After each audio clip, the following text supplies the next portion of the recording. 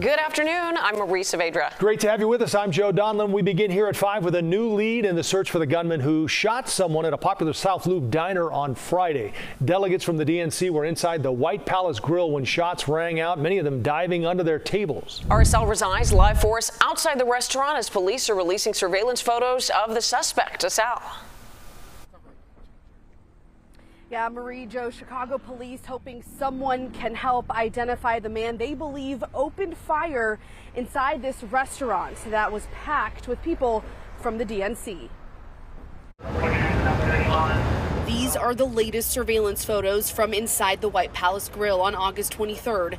The suspect was captured on video, firing a gun at a man, shooting him multiple times. Getting shots fired 1200 South Canal. You can see the word officer across his shirt, and while he appears to be wearing some type of badge on his hip, it is not known whether he's a security guard, but we do not believe he is a Chicago police officer.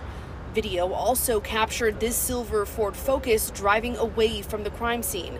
Javier Mabrey, a Colorado state representative, told us last Friday half the restaurant was full of people from the Democratic National Convention.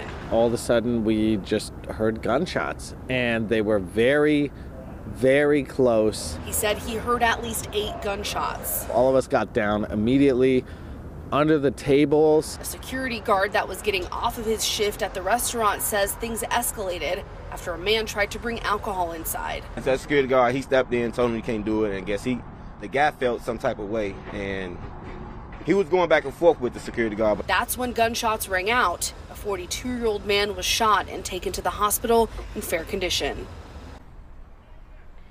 We don't have an update on that victim's condition at this time. Police are asking anyone who knows or sees that suspect to call 911. I'm live in the South Loop. Asal Rezaei, CBS News Chicago. Asal, thank you.